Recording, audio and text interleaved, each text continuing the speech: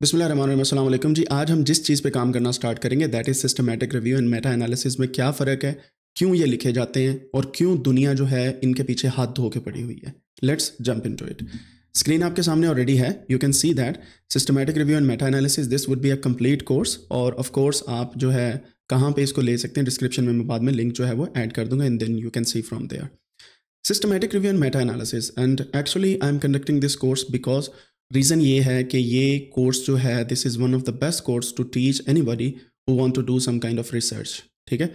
और रिसर्च आम रिसर्च नहीं इंटरनेशनल लेवल की। और ऐसी रिसर्च जो लोगों की रिसर्च को भी चेक करेगी कि क्या उन्होंने ठीक से रिसर्च की है या नहीं की है। समझ आई बात की? So that's the basic thing and आप घर बैठे अपने कंप्यूटर के ऊपर ये दोनों किस्म की रिसर्च कर सकते हैं। सिस्टमेटिक रिव्यू भी मेटा एनालिसिस भी आप अगर सीख के तीन से चार महीने इस एक टॉपिक पे दें, जिसे हम सिस्टमेटिक रिव्यू बोलते हैं, और तीन से चार महीने मेटा एनालिसिस पे दें you can actually write one or two articles in that ठीक है?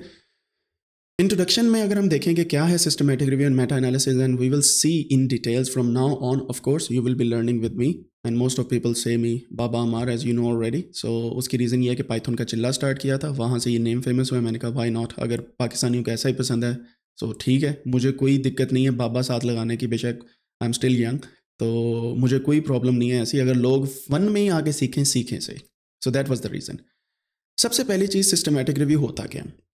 सिस्टमेटिक रिव्यू जो है basically is a comprehensive structure approach to identify assessing and synthesising research on a specific question और टॉपिक ये ऐसा नहीं है जैसे हम ब्रॉडर क्वेश्चन लेते हैं कोई भी और उसमें meta analysis and systematic review करना स्टार्ट कर देते हैं। सो so, यहाँ पे हम क्या करते हैं? पहले एक क्वेश्चन को ड्राइव करते हैं कि क्वेश्चन है क्या? ठीक है? सिस्टमैटिक रिव्यू के अंदर। और इसकी डिटेल अगर देखी जाए सिस्टमैटिक रिव्यू की जैसे आप में से काफ़ी लोग ऑलरेडी मेरे साथ कर चुके हैं सिस्टमैटिक रिव्यू पे काम तो सिस्टमेटिक रिव्यू जिस तरीके से हमने काम किया है उसमें कुछ चीज़ें और ऐड होनी चाहिए जो आज के लेक्चर में भी आप देखेंगे। अनलाइक ट्रेडिशनल लिटरेचर रिव्यूज़ जो हम लिखते हैं कोई भी रिसर्च आर्टिकल या रिसर्च क्वेश्चन के ऊपर आप अपना नैरेटिव बांधते हैं ठीक है? उसको बोला जाता है लिटरेचर रिव्यू या simple literature review which which may be more narrative and subjective जिसपे आप सिर्फ़ सब्जेक्टिव या नेरेटिव की बेस पे लिखना स्टार्ट कर देते हैं, ठीक है? Systematic review follows a rigorous methodology to minimise bias system है ना, एक सिस्टम के थ्रू सारी चीज़ें चल रही हैं सो systematic review actually follows a methodology to minimise क्या चीज़? बाइस बाइस क्या होता है? ये वो इक्कीस बाईस वाला बाइस नहीं है. Again this is something which can take one person to another subjective thing for example वो एक कहावत आपने सुनी होगी जो मैं पहले भी लेक्चर्स में अक्सर बयान करता हूँ कि अन्ना वंडे मठियाँ तो मुड़ के आनो दबे। मीन्स टू से एक बंदे, बंदा ये कह रहा है कि मुझे कुछ नज़र नहीं आ रहा but at the end he is providing sweets to those people जो उसके रिश्तेदार हैं। अकरबा परवरी। यहाँ पे सिस्टमेटिक रिव्यू के अंदर बाइसनेस वो चीज़ होती है जो अकरबा परवरी तो नहीं है, लेकिन आप किसी थकावट की वजह से, अपने टॉपिक के कम नॉलेज की वजह से, या किसी भी और रीज़न की वजह से कोई ग्रुप ऑफ़ रिसर्च पेपर्स को आप ज़्यादा वेटेज दें कि इनको ही हमने साइट करना है दैट इज़ कॉल्ड बाइस उसको मिनिमाइज करने के लिए you actually do rigorous methodology और ये किस चीज़ पे इन्वॉल्व करता है? This involve defining a research question तो आप रिसर्च क्वेश्चन स्टार्ट में ही डिफाइन ऐसे करते हैं कि आपकी बाइसनेस ना हो। Systematically searching for relevant studies, selecting those that meet specific inclusion criteria, critically appraising their quality and summarizing the finding. आप में से काफ़ी लोग ऑलरेडी मेरे साथ ये सारे के सारे स्टेप कर चुके हैं। But for those who are new in this meta analysis and systematic review course they will do all these things together यानी कि एक सिस्टम के थ्रू हम चलेंगे ए टू जी हम सिस्टमेटिकली सिस्टमेटिक रिव्यू को देखने वाले हैं। And then systematic review aim to provide a balanced and exhaustive summary of the existing research कहने का मकसद ये है कि जो भी पब्लिश हो चुका है आज तक in different journals if different why different publishers आप उन सभी को पकड़ते हैं, उसको एनालाइज करते हैं। You don't do something new in the lab ये बात याद रखनी है आपने। काफ़ी लोगों की ये कन्फ्यूज़न होती है कि हम लैब में तो काम नहीं किया तो रिसर्च पेपर कैसे? आप लोगों की की हुई रिसर्च को पकड़ते हैं और उनको एनालाइज करते हैं सिस्टमेटिक रिव्यू में भी एंड मेटा एनालिसिस में। But we are talking about systematic review here so सिर्फ़ इस पर बात करते हैं। And often use in health care social sciences and increasingly in fields like agriculture and environmental science even though मैं ये कहूँगा कि ये मेटा एनालिसिस जो है, या सिस्टमेटिक रिव्यू है, ये एक ऐसी टाइप है जो हर फ़ील्ड में घुस रही है। अब बात याद कीजिएगा। अगर आपके फ़ील्ड में अभी नहीं है you can be the pioneer of introducing this thing into your field अब लोग कहेंगे कि नहीं, ये तो हमारे फ़ील्ड में अप्लाई नहीं होती तो हम क्यों सीखें? और भाई पाइनियर भी बन जाओ किसी चीज़ के, ज़रूरी तो नहीं है कॉपी कट पेस्ट ही करना है हमने काम। सो फॉर दैट रीज़न पहले तो आप सर्च करते हैं कि आपके फ़ील्ड में कितने सिस्टमेटिक रिव्यू हैं। अगर नहीं है तो आप उन्हें इम्प्लीमेंट करते हैं। ये स्टार्ट हुआ था हेल्थ केयर सिस्टम के अंदर। हेल्थ केयर सिस्टम के अंदर मेडिकल सिस्टम के अंदर ये स्टार्ट हुआ था सिस्टमेटिक रिव्यू और लोग इसको एनालाइज करते थे बेस्ड ऑन डिफरेंट स्टडीज़ फिर ये सोशल साइंसेज में आया एंड देन एग्रीकल्चर के फ़ील्ड में इसे अडेप्ट जब किया, लोगों ने बिलीव हुई, बहुत ज़्यादा इसे वो मिली, पजीराई मिली, और लोगों के हाई इम्पैक्ट में आर्टिकल जाने लगे एंड देन इन्वायरमेंटल साइंसेज में तो बहुत ही कमाल है। इवन नेचर तक के जर्नल के अंदर जो बायोलॉजिकल साइंसेज इन्वायरमेंटल साइंसेज वगैरह के ऊपर होते हैं, यानी कि नेचुरल साइंसेज में, वहाँ पे कमाल के आर्टिकल इसके पब्लिश होते हैं। दूसरी साइड पे चलते हैं मेटा एनालिसिस क्या होता है? सिस्टमेटिक रिव्यू आपको पता होगा तो मेटा एनालिसिस आप कर पाएँगे, ठीक है? Meta analysis is a statistical method लो जी, पहली बला पल्ले पड़ गई है, वो है स्टेटिस्टिकल मेथड्स जिसको स्टैट नहीं आती मेटा एनालिसिस से दूर हो जाए सिंपल ऑफ़ कोर्स अगर आप अगर आप कहते हैं नहीं आती, लेकिन मैं सीखना चाहता हूँ या चाहती हूँ तो वो भी आपको बताया जाएगा। But meta analysis is a statistical method use within systematic reviews समझ आई बात की? यानी कि सिस्टमेटिक रिव्यू से आप आगे चलते हैं और मेटा एनालिसिस परफॉर्म करते हैं। बात याद रखनी है systematic review you can not I would say never do meta analysis ठीक है? To quantitatively combine the results of multiple studies पिछले में क्या था? Identifying assessing and synthesising research synthesise का मतलब है किसने क्या बोला, कब बोला, कहाँ पे बोला, किस ईयर में बोला, किस जर्नल में बोला, वो होता है सिंथेसाइज करना। सिंथेसाइज का मतलब ये नहीं कि नई चीज़ बनाना, बल्कि डेटा को इकट्ठा किया कंबाइन किया। यहाँ पे आप क्या करते हैं? मेटा एनालिसिस में you systematically review to quantitatively combine the result of multiple studies इसकी एक एग्ज़ाम्पल आपको मैं दे देता हूँ। मल्टीपल स्टडीज़ का मतलब ये है कि से फॉर एग्ज़ाम्पल पाकिस्तान के अंदर हर पाँचवा बंदा ब्लड प्रेशर का मरीज़ है। Just giving you an example अब ब्लड प्रेशर की एक दवाई लॉन्च होती है कि ये गोली खाओ ब्लड प्रेशर आपका सेट हो जाएगा। अगर लो है तो नॉर्मल हो जाएगा। अगर हाई है तो वो भी नॉर्मल हो जाएगा। ठीक है? अब वो गोली लॉन्च हुई है, लेकिन लॉन्च करने से पहले पीपल डू मल्टीपल ट्रायल्स वो गोली का नाम से फॉर एग्ज़ाम्पल ब्लड प्रेशर माइजीन कह देते हैं। I am just giving a random name क्योंकि मैं किसी की एडवर्टीजमेंट नहीं करना चाहता यहाँ पे। अब बीपी माइजीन जो है ब्लड प्रेशर माइजीन इस मेडिसिन को लोगों ने सर्च किया। कैसे सर्च किया? पहले ये दरियाफ्त हुई। दरियाफ्त होने के बाद अमेरिका में किसी ने इसको सर्च किया, इसको बनाया और लोगों पे ट्रायल किए रिसर्च पब्लिश की। लोगों से भी पहले एनिमल्स पे ट्रायल्स होते हैं, ठीक है? एनिमल्स यानी कि माइस मॉडल पे। फिर वो ट्रायल उन्होंने पब्लिश किए, पहला पेपर आ गया, फिर इसी तरह इंडोनेशिया में किसी ने पकड़ लिया, फिर इसी तरह चाइना में किसी ने इस मेडिसिन को पकड़ा रिसर्च की।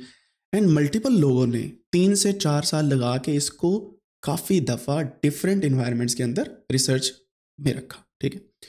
मेटा एनालिसिस ये करता है, जितने भी पेपर बीपी माइजीन यानी कि ब्लड प्रेशर माइजीन पे पब्लिश हुए हैं, सभी को पकड़ता है। और उनके इफ़ेक्ट्स को यानी कि जो असर उस मेडिसिन ने किया उसको इकट्ठा करता है विच इज़ स्टेटिस्टिकली इसको बोला जाता है पूल करना। एंड सभी का एक इफ़ेक्ट बना के दे देते हैं। समझ रही बात की?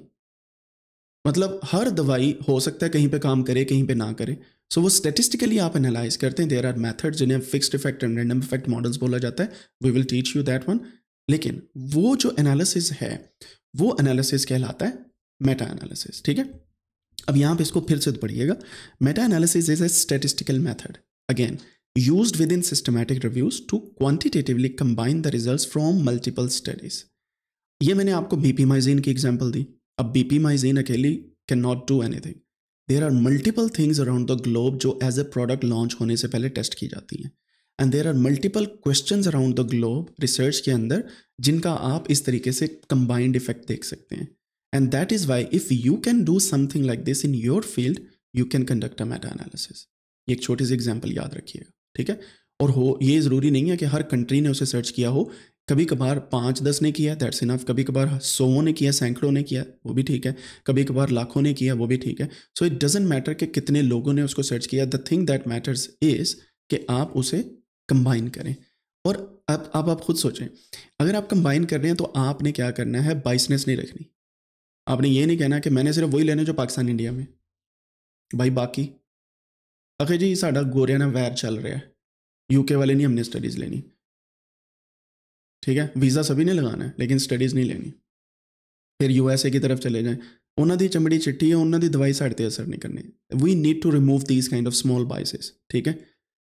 फलां बंदा से फॉर एग्जांपल किसी स्पेसिफिक कॉस्ट का है, उसका पेपर मैंने लेना है, क्योंकि अक्सर लोग अपने नाम में कॉस्ट भी लिखते हैं अपनी। ठीक है? कास्ट जो होती है। और वो मैंने लेना, दूसरा नहीं लेना। है अपना बंदा है पेपर पालो। वो फलां बंदा मेरा दोस्त है, उसका पेपर डालो। This these are called biases we need to remove those otherwise क्या होगा? एंड पे फिर बी पी माइजीन जो है, वो इतना अच्छा इंपैक्ट करेगी कि तुझे कहोगे ठीक हो गया और आपके रिज़ल्ट दुनिया हंसेगी उस पर ठीक है? और याद रखें एआई के ऐसे ऐसे टूल्स लॉन्च हो रहे हैं। अगर आप गलत कोई प्रोडिक्शन देते हैं, आप पकड़े जाएँगे फ्यूचर में तो इस वजह से बाइसनेस को दूर रखिएगा। Meta analysis the outcomes from various studies और similar on a similar question are mathematically aggregated अब आप कहेंगे, ऊपर स्टैट की बात हो रही है, यहाँ पे मैथ की हो रही है। भाई स्टैट जो है, वो बेसिकली मैथ से निकली है, अगर आपको नहीं पता तो स्टेटिस्टिकल स्टेटिस्टिक्स की, ई, जो डेफिनेशन है, वो पढ़ लीजिएगा एक दफ़ा। This is very basic aggregated का मतलब है इकट्ठा करना। ठीक है?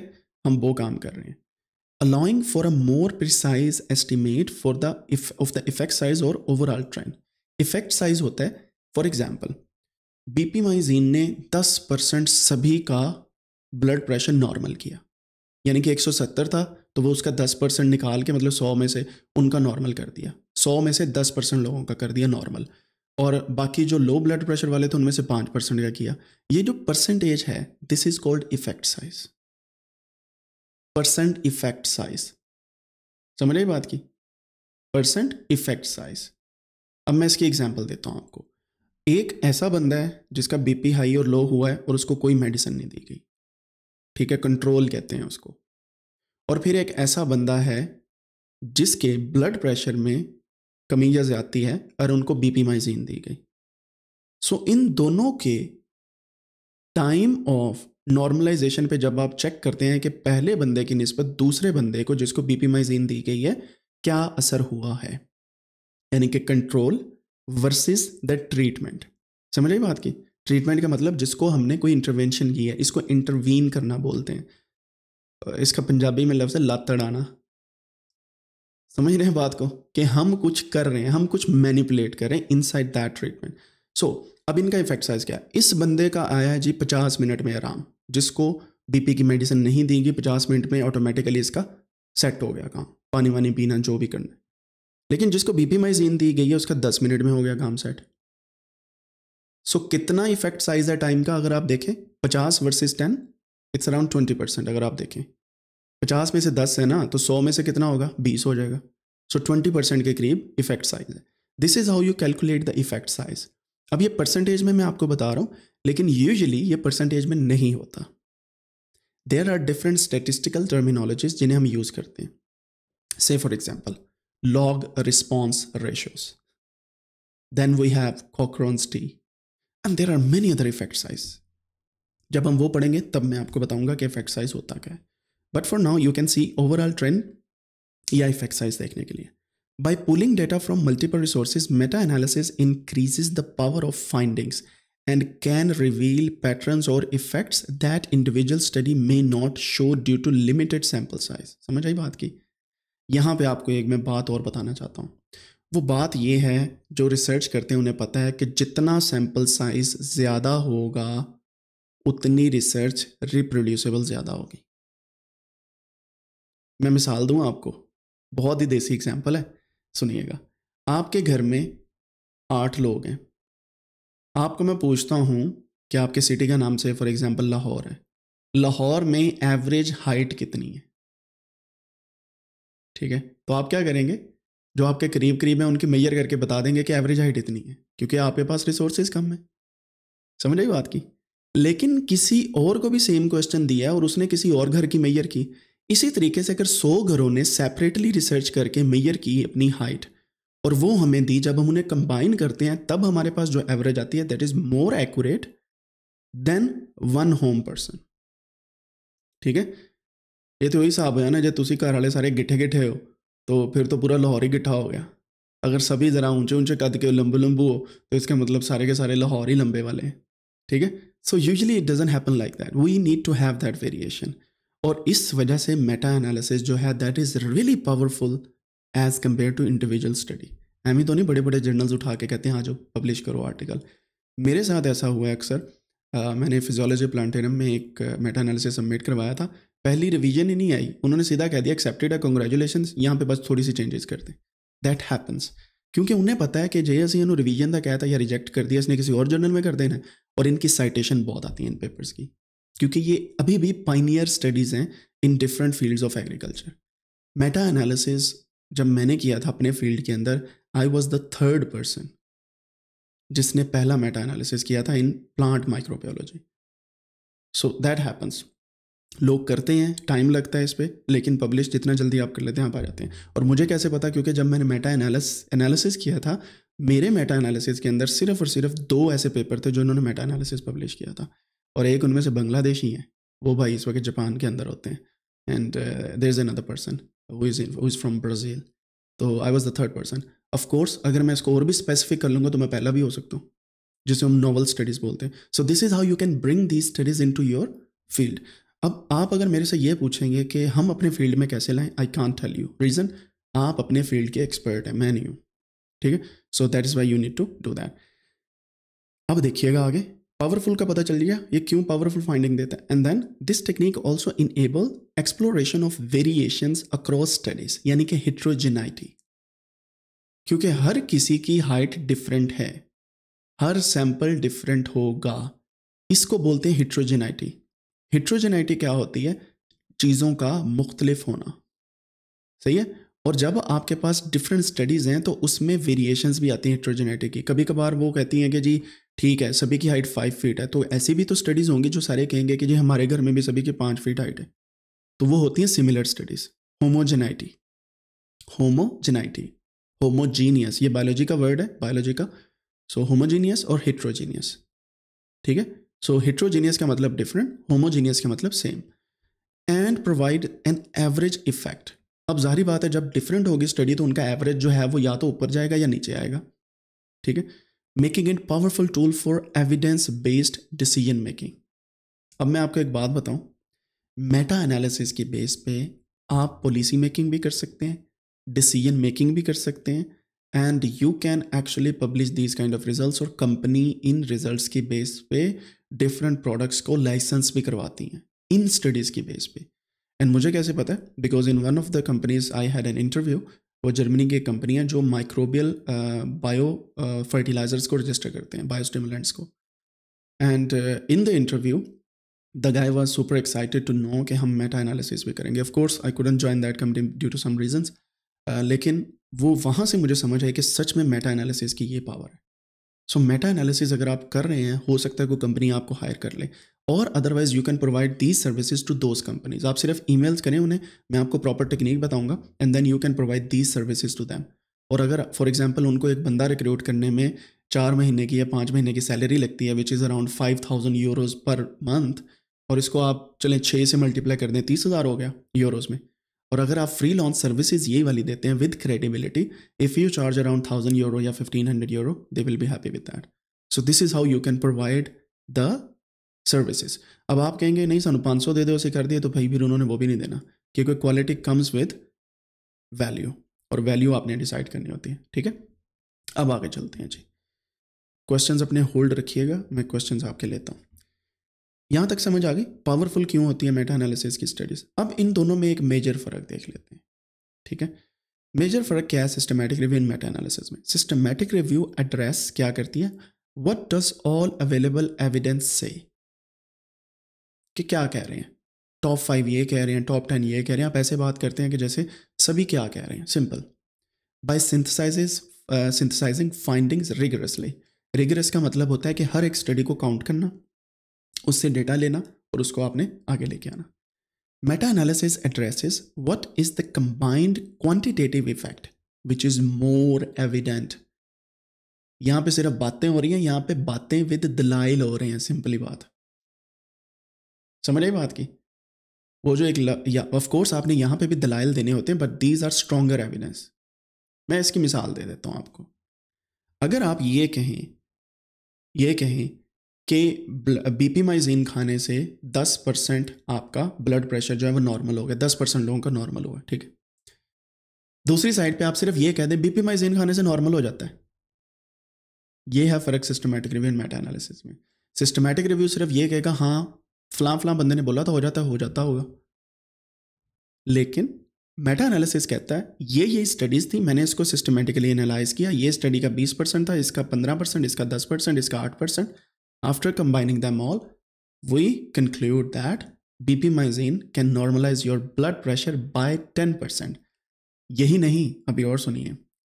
स्टैंडर्ड सेंट्रल टेंडेंसी आगे मीन एवरेज कितने परसेंट होता? है फिर इसका रेंज होती है मिनिमम से maximum which is called confidence interval negative में एंड पॉजिटिव में।